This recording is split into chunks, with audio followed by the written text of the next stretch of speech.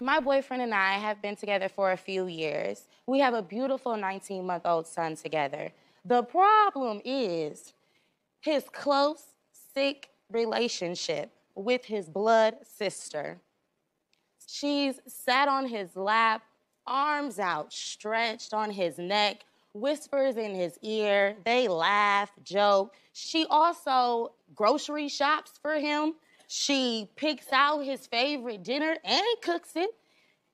His plate is the first plate that she makes, forget her kids and her own man.